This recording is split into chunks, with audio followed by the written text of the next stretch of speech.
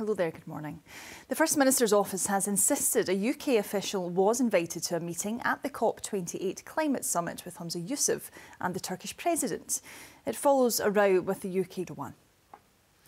Elsewhere, a council is warning it can't afford the cost of rebuilding its largest secondary school following the discovery of RAAC concrete.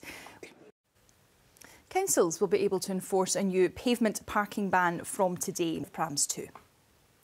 People are expected to protest later over proposed cuts to the curriculum at Aberdeen University plans. And lastly this morning, Highland Council says there's a significant risk parts of the region are being depopulation and increased job opportunities. And now Gillian takes a look at the weather.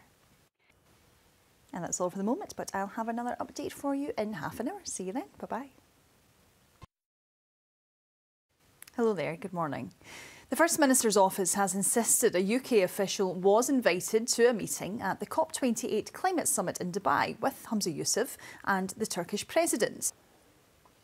Elsewhere this morning, a council is warning it can't afford the cost of rebuilding its largest secondary school following the discovery of RAAC concrete. Councils will be able to enforce a new pavement parking ban from today. Prams. Protests are expected later over proposed cuts to the curriculum at Aberdeen University. It's and Highland Council says there's a significant risk parts of the region are being drained of people, the popular opportunities. And let's get your weather now with Gillian. Hello. Good. Okay, Gillian, thank you very much for that update. And that's all from us for the moment, but we will be back with another update for you in around half an hour's time. So I do hope that you can join us for that. Goodbye for now. Hello there, good morning.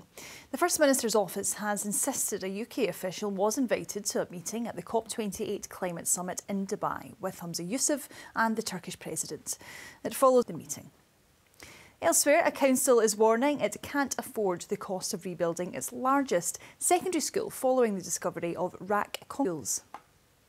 And councils will be able to enforce a new pavement parking ban from today as it'll be frosty in the north. And that's all for now, but I'll be back soon. See you then. Bye bye.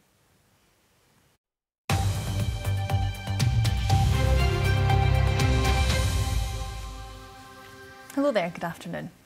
A council says it can't afford the £35 million cost of rebuilding its largest secondary school following the discovery of crumbling concrete there. West Lothian Council, which wants the Scottish Government to contribute towards the repair bill, says it's inconceivable it's the only Scottish council facing such costs. Our reporter Stephen Godden has this story.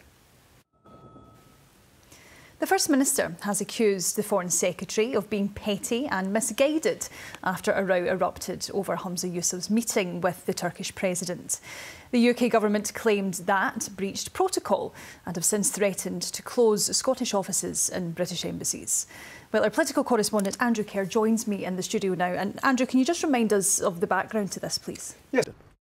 And Sarah, the First Minister, was adding that if the foreign, therefore indeed the UK economy now is a big player, particularly in the Middle East. Well, staying with politics now, and Rishi Sunak has defended Boris Johnson's decision-making process during the early stages of the pandemic.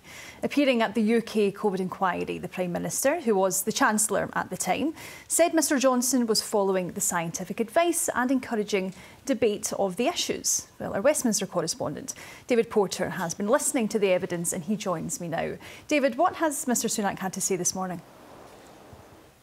And that takes us into your weather forecast now. And Kirstine is with us. Hello. Hello, Sarah. Thank you. Good. That's the forecast. Back to you, Sarah. OK, Kirstine, thank you very much. And that's all from us here. Have a lovely day. Bye-bye.